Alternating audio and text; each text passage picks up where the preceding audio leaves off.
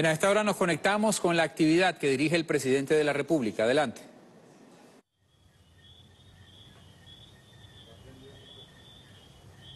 Buenas noches, pues, a toda Venezuela.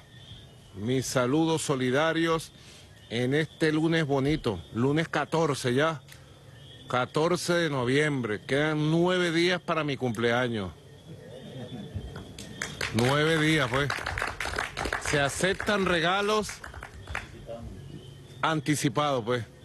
Pueden mandarlo por correo. Como el voto por correo en Estados Unidos, Jorge.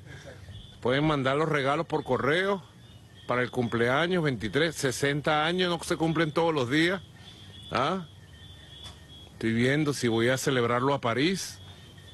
No sé si ir a París, Jorge, a celebrar el cumpleaños. Estoy dudando si voy a París o para dónde voy, pues.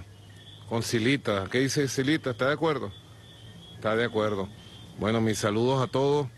Estamos aquí en la reunión semanal del Buró Político de la Revolución Bolivariana, el alto mando político, el Buró Político del Partido Socialista Unido de Venezuela, este grupo de compañeros y compañeras, primer vicepresidente, compañero Diosdado Cabello Rondón, vicepresidente de Electoral, Comunicación, compañero Jorge Rodríguez, que viene aterrizando de París precisamente, fue a París a preparar mi cumpleaños, fue. La vicepresidenta de Asuntos Regionales y Municipales, la almirante en jefa Carmen Teresa Meléndez Rivas, el vicepresidente de Asuntos Internacionales, canciller del partido, Adán Coromoto Chávez Frías, presente y siempre consecuente, el vicepresidente de organización, compañero Pedro Infante, la vicepresidenta de Mujeres, compañera Diva Guzmán, la vicepresidenta de Formación Ideológica y Política, diputada Tania Díaz, el vicepresidente de Movilización, heredero de Darío Vivas, directo heredero, hijo de Darío, Naún Fernández, el vicepresidente de la clase obrera, compañero diputado Francisco Torrabla, ministro también, el compañero Taret El Aizami, compañero Héctor Rodríguez, vicepresidente de Alianzas y Movimientos Sociales, y la compañera camarada Silita Flores. Cilia Flores, Cilia, ¿no? ¿Está bien? Así se dice. ¿Ah? Bueno, mis saludos, pues. Estamos aquí revisando temas de mucho interés. Hemos pasado revista a todos los temas de mucho interés. En primer lugar, el éxito total en el proceso de postulación por parte del poder popular, por parte de las bases, de las unidades de batalla Bolívar Chávez, de los candidatos y candidatas para formar parte de las direcciones parroquiales, municipales y regionales de todo el país. Éxito total. Hermosa jornada de debate, de participación, impecable, sin una sola mancha, sin un solo problema. Saben que somos seres humanos, ¿verdad? Sabes que somos seres humanos apasionados como revolucionarios, como revolucionarias somos apasionados, amamos nuestra causa, nuestra lucha, nuestra historia, amamos la revolución, amamos la patria. Y todo ese amor a veces, bueno, se puede transformar en alguna pelea, en algún sitio. Cero, cero. Armonía total unión perfecta de las bases del Partido Socialista Unido de Venezuela. En el debate, en la propuesta, en la postulación. Unión, de verdad extraordinario. Hemos recibido el informe completo por parte del compañero primer vicepresidente, Diosdado Cabello Rondón, por parte del vicepresidente de organización, compañero Pedro Infante. Estuvimos en contacto con todos los enlaces regionales que mandaban informes a través del telefonito. Aquí, informe del Zulia, de Barina, de Apure, de Caracas, de Carabobo, de Aragua, de Anzuategui, Monagas, Bolívar, Mérida, Trujillo, Falcón, Yaracuy, Lara, Amazonas, del Tamacuro, Portuguesa, Cogede, todo el país, Caracas, La Guaira, Miranda. Estuvimos informados del desarrollo, de los acontecimientos, la participación ejemplar. Se han postulado alrededor de 400 mil compatriotas para los cargos de dirigentes de las direcciones parroquiales, direcciones municipales y direcciones regionales. Un proceso transparente, unitario, desde la base, democrático. Nuestro concepto de democracia, Jorge, como tú lo sabes, compañero, nuestro concepto de democracia es un concepto superior. Nosotros venimos de superar el concepto de democracia representativa, democracia formal, democracia burguesa, democracia de élites, nosotros venimos de haber enfrentado a las élites de la cúpula de la Cuarta República y nos estamos desde las calles, desde las fábricas, desde los sindicatos, desde los campos, desde las universidades. De ahí venimos nosotros estando con nuestro comandante Chávez el concepto de la democracia participativa y protagónica, que es constitucional. En el año 1999, Adán, Aquí hay dos constituyentes. Adán Chávez Frías fue constituyente por Mérida. Era profesor de la ULA. Y el pueblo de Mérida lo eligió constituyente. Y ahí estuvimos con un grupo importante de compañeros y compañeras. Desde agosto 99 hasta enero del 2000. Estábamos más jóvenes, un poco más jóvenes de lo que estamos ahora. Y a varias manos junto al pueblo escribimos la constitución ya en el primer ejercicio de democracia protagónica, de democracia popular, de democracia directa, de democracia participativa. Porque la democracia representativa, formal, burguesa, se agotó y demostró su decadencia. Y nosotros insurgimos contra la democracia falsa, falsa democracia contra el carácter representativo burgués, elitesco y cogollérico. Insurgimos con nuestro comandante Chávez prendiendo las luces para el mundo, para América Latina y para el mundo. Y quedó en la Constitución. Hermosa Constitución de 1999. El carácter del Estado venezolano. El carácter de nuestra democracia y hemos sido leales a ese carácter y lo llevamos a su máxima expresión permanentemente. El carácter de democracia directa, democracia popular, democracia verdadera, empoderar al pueblo, que sea el poder el que ejerza, el pueblo el que ejerza el poder. ¿Mm? No unas élites que se encumbran y secuestran el poder del pueblo por cuatro años, por cinco años, por seis años, y utilizan el poder del pueblo para malversarlo, para destruir la patria. No, esa democracia burguesa que representa a la derecha, no la queremos y no volverá a Venezuela, no volverá a Venezuela. Es la democracia protagónica, popular, directa de las bases del pueblo, lo que nosotros tenemos que sembrar, construir, construir, construir. Para construir el Estado de la Constitución. No hay constitución más democrática en toda la historia de 200 años de república. Es esta constitución de 1999. Que lo sepa la juventud más joven, Naum, Pedro, Héctor, ustedes que son los más chamos aquí, Diva, que lo sepa la juventud más joven. Nosotros venimos de un parto histórico, del agotamiento del modelo burgués, del modelo de democracia falsa, de minorías, de democracia representativa burguesa. Y la idea de la democracia participativa y protagónica surgió del 4 de febrero de 1992, surgió del movimiento bolivariano revolucionario 200, surgió de la mente brillante del comandante Chávez y de la generación que Chávez encabezó. Surgió como creación bolivariana, robinsoniana de Venezuela.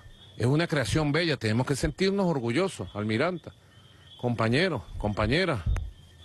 Tenemos que sentirnos, Tania, orgullosas, ustedes las mujeres, de que fue creación de Venezuela, la democracia participativa, protagónica, directa, popular, que ya habían enarbolado otros revolucionarios en otras partes del mundo, en Europa, en las luchas de los movimientos socialistas del siglo XIX, del siglo XX, en América Latina, la América rebelde, la América vestiza, nuestra América también.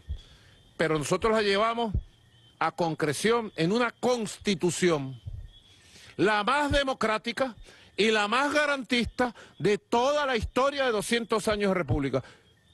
Y me perdonan, y lo voy a decir, porque hay que decirlo, Jorge Rodríguez Gómez, la constitución más democrática, más garantista de toda América Latina y el Caribe, de todo el continente, nuestra hermosa y amada América, nuestra América, la más garantista, la más democrática, la más amplia. Este es nuestro proyecto. Esta es nuestra guía de navegación. Esta es nuestra guía de navegación. Y de aquí no podemos apartarnos jamás. Nuestro proyecto es democrático, libertario, participativo, directo, popular y protagónico. Es nuestro proyecto. Digan lo que digan en el mundo, Jorge Rodríguez. Ese es nuestro proyecto. Y nuestro proyecto está victorioso. Adán Coromoto, Chávez Fría. Nuestro proyecto está victorioso. Y las victorias se tienen que expresar en todos los aspectos de la vida de una sociedad y el proceso que ha vivido, ejemplar, así lo tengo que decir, desde agosto, el proceso de elección por la base, ejemplar del Partido Socialista Unido de Venezuela, compañero Diosdado Cabello, es una de las expresiones de la victoria del pueblo de Venezuela en el año 2022. Es una de sus expresiones. Este es un año victorioso, sin lugar a dudas en todos los aspectos económicos, social, educativo, cultural y político. En todos los aspectos de la política, pero especialmente en el aspecto de abrir las compuertas para la democracia directa del Partido Socialista Unido de Venezuela. Yo quiero felicitar a todos los jefes y jefas de calle, comunidad, VC, por el ejemplo que han dado a Venezuela y al mundo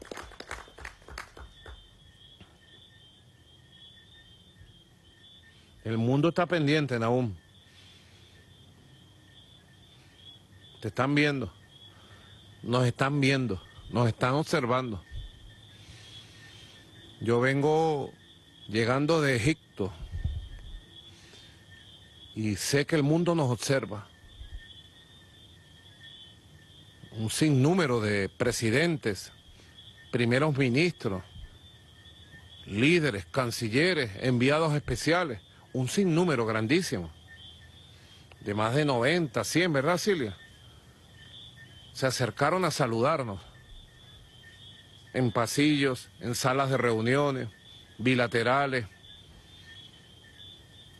y todo el mundo a felicitar a Venezuela. Felicidades Maduro por la resistencia, por la victoria, por los avances. Estamos felices por Venezuela, Venezuela avanza, todos.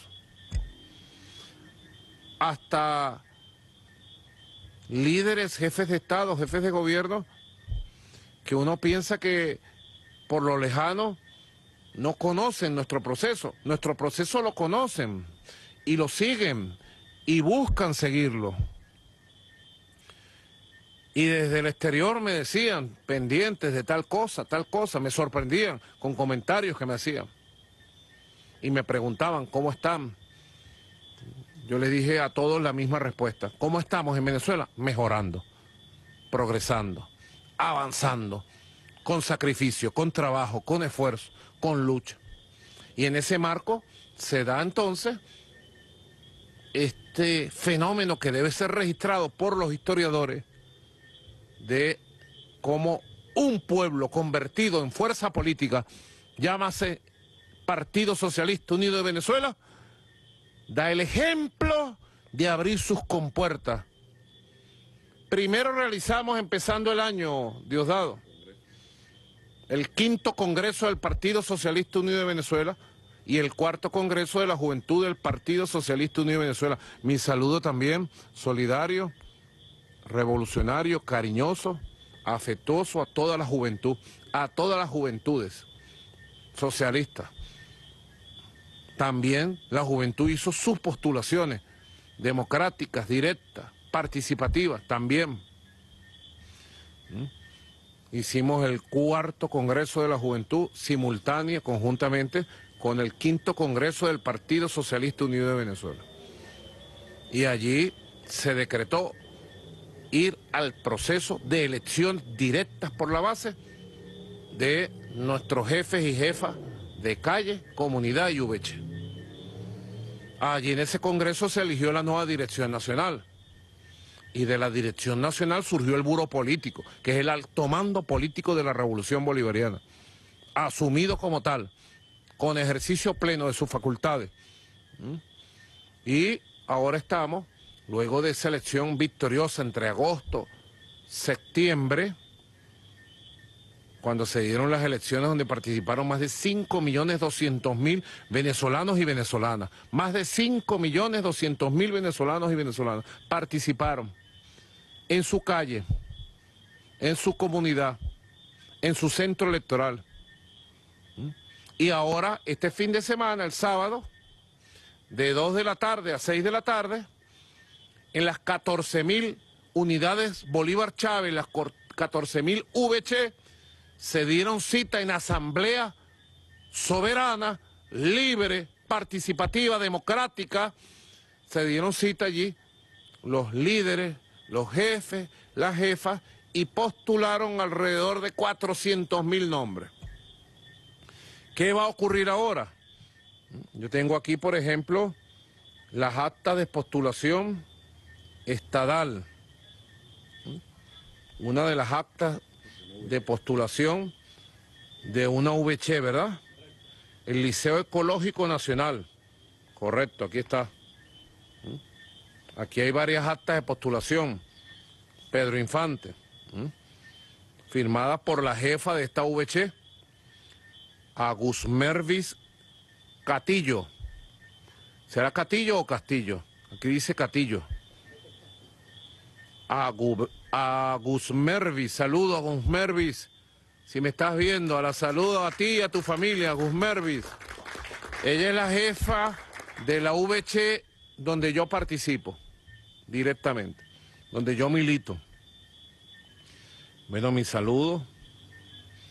Ellos se reunieron y postularon este conjunto de nombres que conjuntamente, por ejemplo, en el caso de Caracas, todas las VC de Caracas, ¿verdad? El número de VC de Caracas.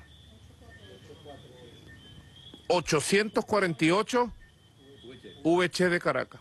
Cada una se reunió, cada uno hizo su debate, cada uno hizo su proceso, de manera unitaria, cariñosa, solidaria, libre. Y cada uno postuló los nombres que consideró pertinentes. Cada parroquia va a tener su, dirección y Caracas como entidad federal, en este caso, va a tener también su dirección y cada estado. Así que estamos preparados. yo quisiera que el compañero Diosdado Cabello Rondón dijera cuáles son los pasos que ahora vamos a dar para completar el año 2022 en victoria, organizando toda la estructura, oído a amigos, a propios, a extraños, oído a los enemigos, oído a todos. Estamos organizándonos, uniéndonos, sumando para triunfar como país, para avanzar en todos los frentes de batalla. Diosdado Cabello Rodón. De, de campaña. Gracias, presidente. Saludos a todos y a todos. Bueno, después de, esta hermosa jornada, presidente, exitosa jornada de, del fin de semana, cumpliendo las instrucciones del Congreso y, las dadas por usted, en el sentido de venir desde las bases, de la calle primero, calle, comunidad, VC. Vamos ahora a los equipos políticos estadales, del Estado, del municipio y de las parroquias. Lo primero es, eh, presidente, ver que desde el punto de vista numérico hay alrededor de 30, 35 postulados por cada VC. Son unos números gruesos. Ahora, para un Estado, para el Estado, pensemos el Estado Guárico, tiene las VH de Guárico postularon para la lista, para el equipo estadal. Nosotros debemos agarrar todos los nombres postulados. Eh, una persona puede estar postulado en todas las VH del Estado, perfectamente. O, o puede haber estado postulado en, en cinco VH nada más. Eh, su nombre también va a ser considerado. No, estamos excluyendo a nadie, simplemente que una VH, basta, perdón, que una VH lo haya postulado y nosotros lo vamos a tomar en cuenta. Se va a hacer una evaluación Estamos pensando, presidente, que debe haber alrededor de unos 500, 600 personas por eh, equipo político. Equipo político estatal, unas 500, 600 personas. Nosotros, el saldo positivo de esto es que de, esas 500, 600 personas vamos a tomar la conformación del equipo político y tendremos con un gran banco de líderes, de liderazgo, de mujeres y de hombres, propuestos desde la misma base. Desde la misma base. Ahí hemos querido eh, revisar pues cuántas personas es el número ideal de cada, de cada dirección eh, política. Hay particularidades, por ejemplo, la vicepresidencia indígena tiene presencia en algunos estados y en otros no. Eh, en la parte internacional probablemente no sea necesario en las parroquias, pero sí en los municipios y en, la, y en los estados. Dependiendo de eso, nosotros vamos a tener el número exacto de personas que van a conformar esta, estas direcciones. Pudiera ocurrir, presidente, que eh, pudiera no, es casi seguro, pues que hay una persona que militó con nosotros, en algún momento se fue y está regresando ahora. Eh, se dio el caso en las elecciones eh, de alcaldes, personas que fueron alcaldes hace 8 o 10 años atrás, fueron a las primarias, ganaron y hoy son nuestros alcaldes. Es gente que tiene un liderazgo en la comunidad y esto, por eso hablaba del banco de liderazgo que tenemos nosotros ahora para los estados, para los municipios y para las parroquias. Una, una, hemos dado las instrucciones en el partido que la revisión que vamos a hacer tiene que ser lo suficientemente amplia, que incluya todos los sectores, alejada de cualquier sesgo eh, de grupo, de sectarismo, de manera que en cada equipo político esté la representación genuina de los liderazgos que hacen vida en la, en, en la parroquia, en el municipio y en, las, y en los estados. Es una revisión, presidente, de cada lista, de cada lista, luego que nosotros hacemos la revisión, por supuesto, haber personas objetadas. ¿Quiénes están objetados? Lo dijimos en las condiciones, una persona que esté siendo juzgada por delito, una persona que haya aceptado ser candidato de un partido distinto al Gran Polo Patriótico, eh, siendo miembro de, nuestra organización, ahorita va a ser objetada. Una persona que yo no haya ejercido el derecho al voto, eh, difícilmente puede aspirar ahora a ser jefe de una, de una estructura o de un, o de un sector de una estructura eh, si no participa con, lo, con, el aporte mínimo que tiene un militante, que es su voto. Son las cosas que vamos nosotros a chequear.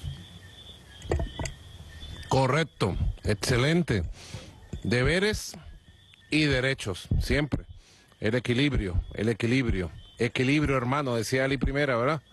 Equilibrio, hermano, equilibrio.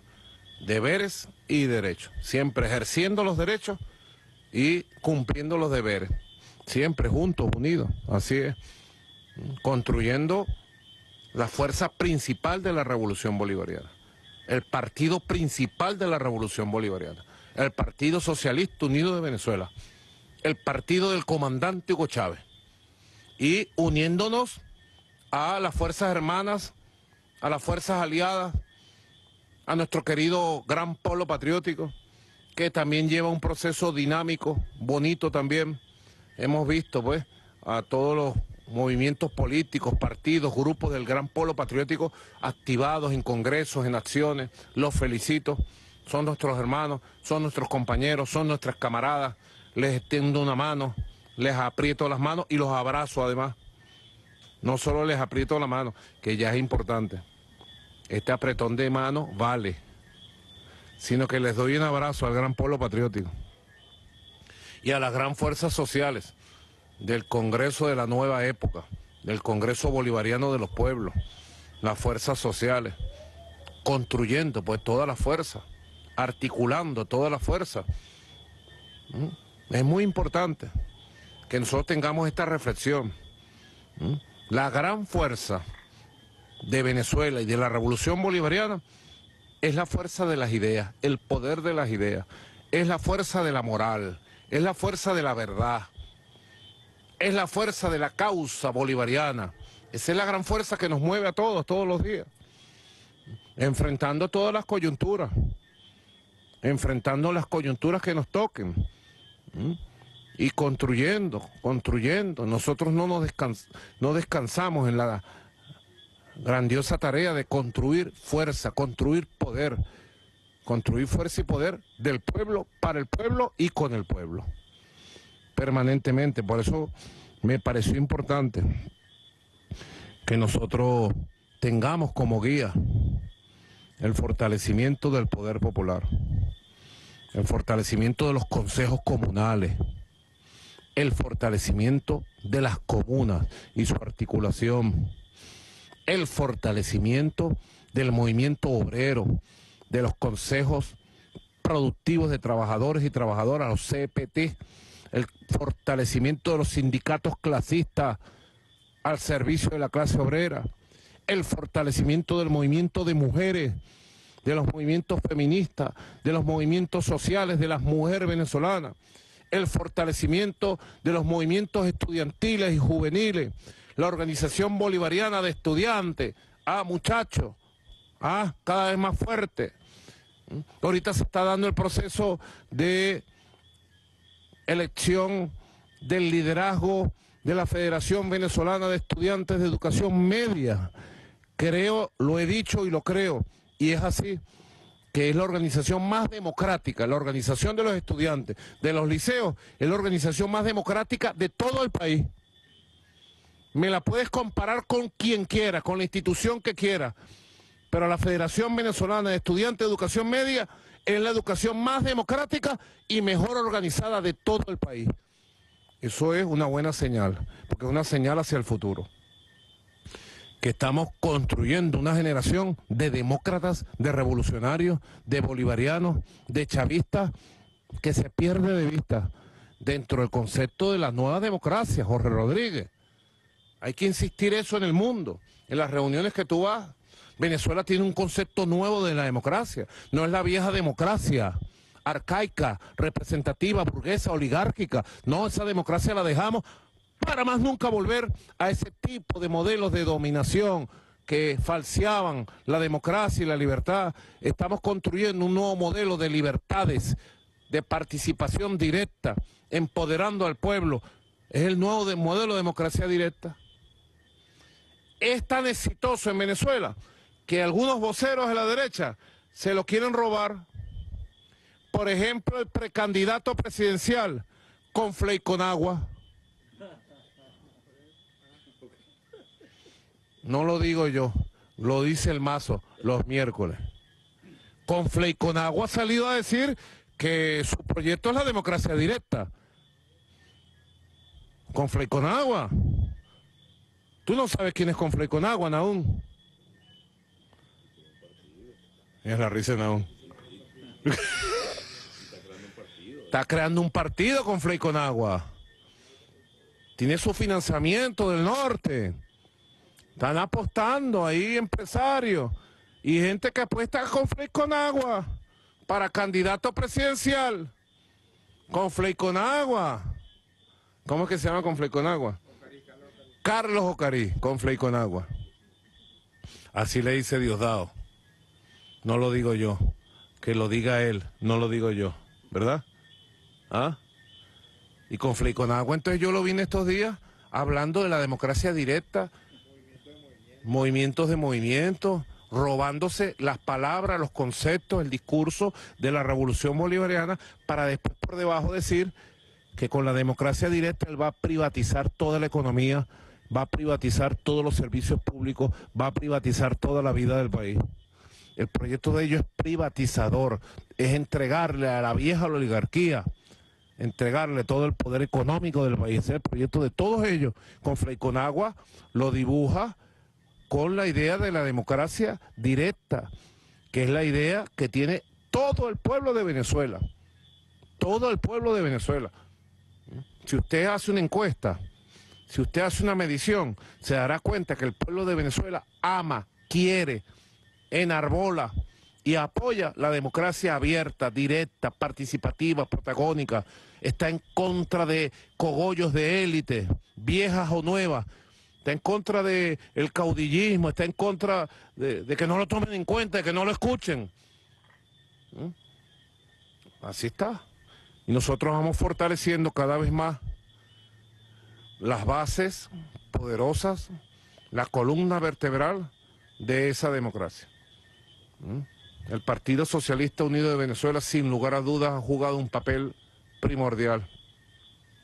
El próximo 15 de diciembre estaremos celebrando los 16 años de que nuestro comandante Chávez dijo vamos a fundar un partido revolucionario unitario, social, un movimiento de movimiento.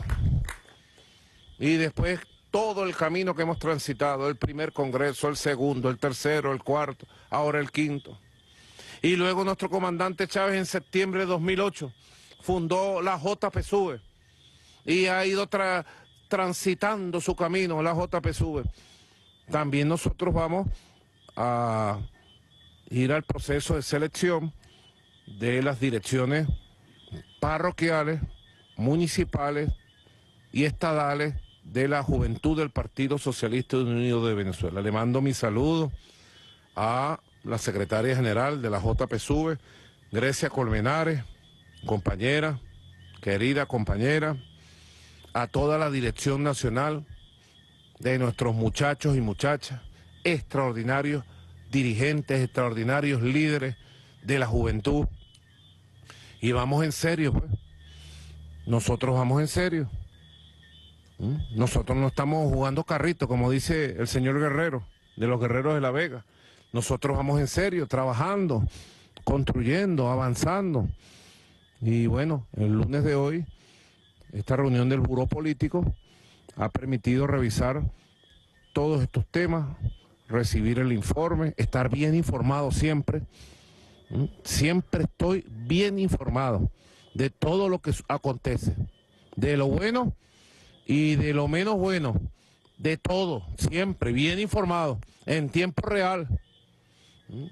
Llamo a la unión permanente de las fuerzas revolucionarias, de las fuerzas sociales. Llamo a la unión permanente de Venezuela, la unión, la unión, la paz, para seguir avanzando y construir la prosperidad permanente de nuestra patria. Ese es el objetivo.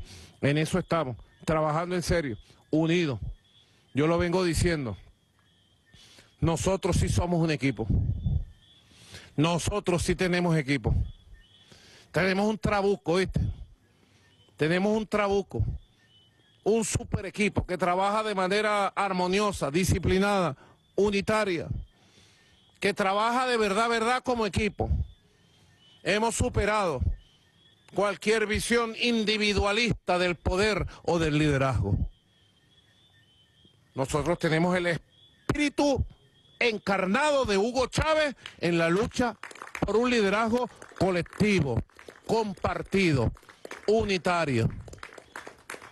Ese espíritu está encarnado en nosotros, en nuestra mente.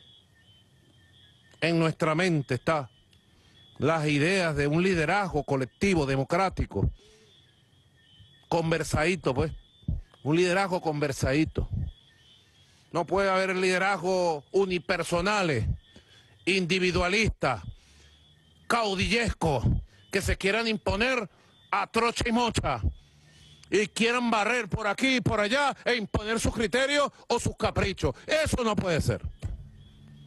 Liderazgos caprichosos, individualistas, no, no puede haber. Eso no tiene nada que ver con la Venezuela del siglo XXI, con nuestra Venezuela. Eso no tiene nada que ver con las aspiraciones de una mejor Venezuela. Eso no tiene nada que ver con la revolución bolivariana.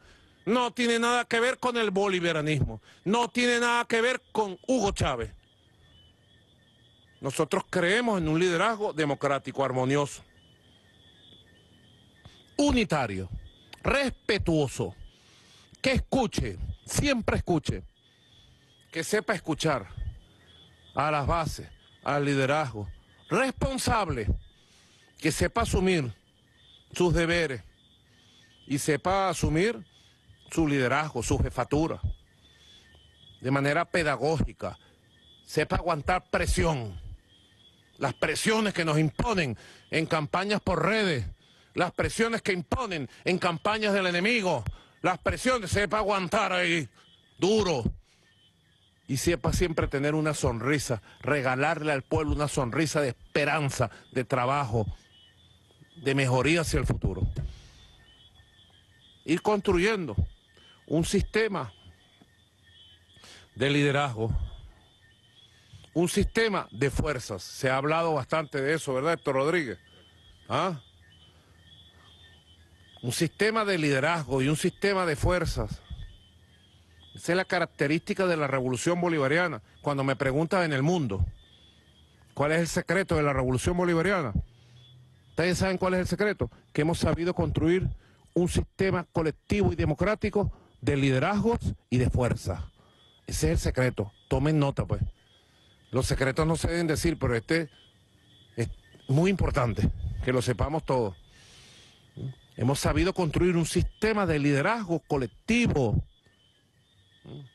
Porque Maduro no es un caudillo, no es un individualista, no es un hombre que se impone a trocha y mocha, no es un abusivo del poder.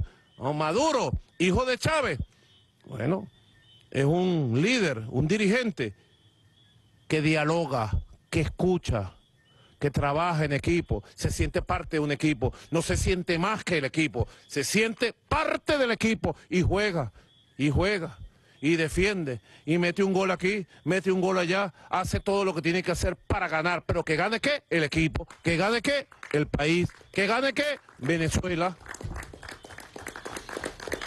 Y así debemos ser todos y todas. Luchar y trabajar para el equipo. Ahora que viene el Mundial de Fútbol, pues. Usted ve equipos favoritos ahí. Por ejemplo, Argentina. Es uno de los equipos favoritos. ¿Mm? Aquí en Venezuela hay mucho apoyo a Argentina. Presidente Alberto Fernández, porque sepa, entre los equipos. Pero es un equipo, pues. Ahí está Messi, gloria del fútbol mundial, como en su época fue nuestro hermano y amigo Diego Armando Maradona. Pero Messi es Messi porque tiene un equipo. Y él solo puede ser Messi en el equipo. Respetando al equipo, haciendo el pase, recibiendo el pase, jugando con el equipo, trabajando por el bien del equipo y defender la camiseta de su país. Seamos así. Atención, atención, jefes y jefas.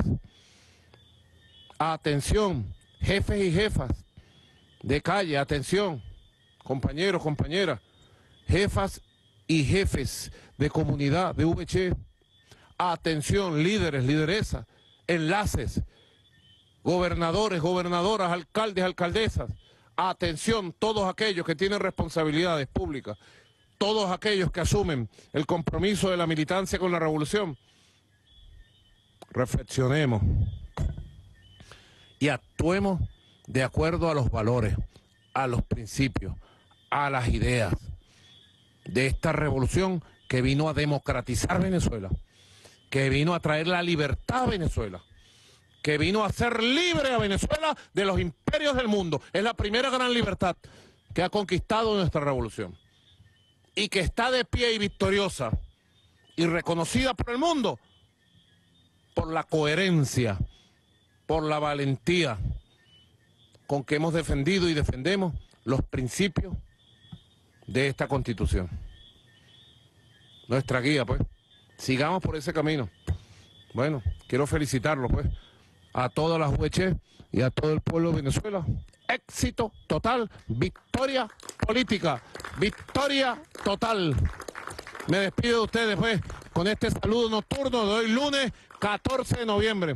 Y les digo, por la patria y por el pueblo, hasta la victoria siempre. Venceremos, muchas gracias. Hasta la próxima.